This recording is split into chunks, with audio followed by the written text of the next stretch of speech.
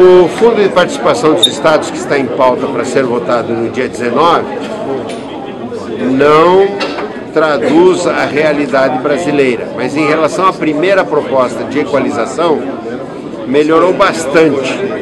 Não faz ainda justiça a estados que têm um fundo de participação pequeniníssimo, como também não tira dos que têm muito.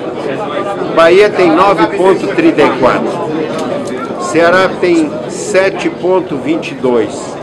Maranhão tem 7,3. Maranhão cai para 6,85.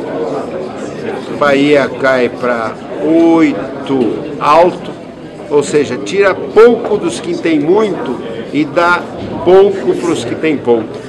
Mas em relação à primeira proposta, se não melhorou, despiorou bastante.